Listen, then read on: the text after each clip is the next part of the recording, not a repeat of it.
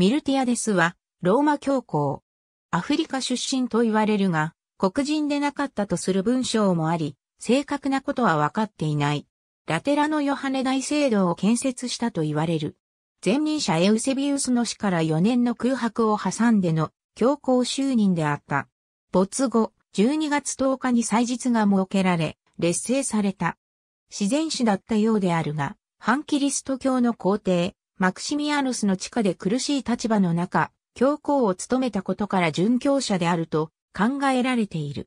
コンスタンティヌス大帝は、ミルーイウス橋の戦いへの進軍中に空中に十字架の印と汝、これにて勝てというギリシア語の文字を発見し、キーロを旗印とし、戦いに勝利した。